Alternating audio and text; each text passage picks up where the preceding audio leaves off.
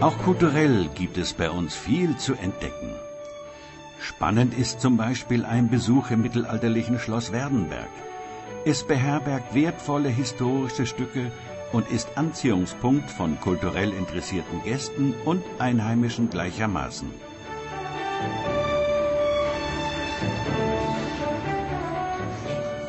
Das Burgstädtchen Werdenberg ist die einzige noch weitgehend erhaltene mittelalterliche Holzsiedlung der Schweiz mit städtischem Charakter.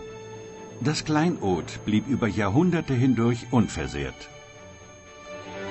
Interessant ist auch unsere engere Geschichte und zum Beispiel ein Gang durch das Regionalmuseum Schlangenhaus.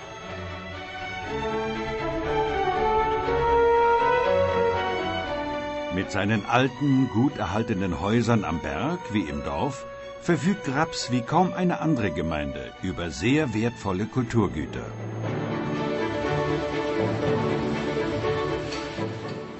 Handwerkliche Traditionen werden noch gepflegt, trotz modernem Komfort.